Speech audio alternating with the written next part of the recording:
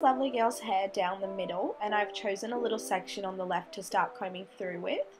And if you're working with a lot of thicker hair or just a lot more hair in general, you can always make these sections a lot smaller. But for the girl that I'm working with today, she's got really easy straight hair to comb through, so there should be enough sectioning.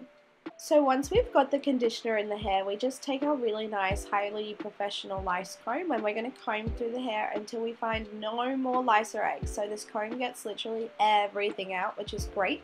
And then you want to move on to your next section on the other side so you can keep those really nice straight lines so you know which sections you've done, which sections you have to do, and you can keep track of that so you're not going to miss any little sneaky eggs.